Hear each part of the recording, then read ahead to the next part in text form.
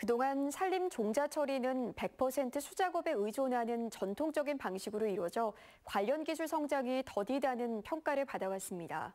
하지만 기계화와 자동화를 갖춘 스마트 산림 종자 처리동이 신설되면서 앞으로 우리나라 종자 보급에 획기적인 전환점이 될 것으로 보입니다. 박원 기자입니다.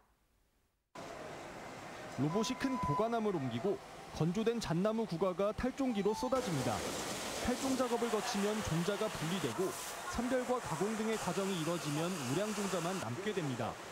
국립산림품종관리센터에서 충주의 전국 최초로 스마트 산림 종자 처리 시설 산시움터를 구축했습니다. 과거에는 노지에서 구가를 건조한 뒤 일일이 수작업으로 종자를 분리했지만 산시움터의 준공으로 처리 용량과 인력 부족 문제가 크게 해소될 것으로 기대됩니다. 산시움터가 단순히 종자를 생산하는 시설로뿐만 아니라 미래 세대의 체험과 교육의 장이 되고 다양한 연구 활동이 이루어질 수 있도록 산시움터는 종자 생산에 소요되는 많은 노동력을 대체하고 종자의 건전성과 균일성을 확보해서 종자의 품질을 높이는 데 큰 역할을 할 것이라고 생각이 됩니다.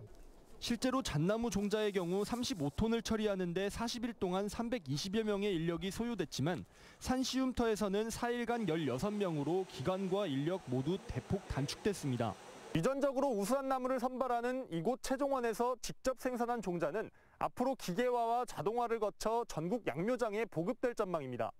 앞으로는 종자 위에 색을 입히는 코팅 기술을 도입해 파종할 때 쉽게 눈에 띌 수 있게 만들고 조류 섭식 피해 방지를 위한 관련 기술도 연구할 계획입니다. 종자의 표면에 염료라든지 또는 살균제 등을 접착 제어하고 해서 이렇게 붙이는 작업을 하는데요. 살균제를 투입함으로써 발화할 때 세균의 감염종에 대해서 예방을 할 수가 있습니다. 기후변화에 대응하기 위한 최첨단 산림종자 처리 시설이 조성되면서 미래 우량종자에 대한 기대감도 높아지고 있습니다. CJB 박원입니다.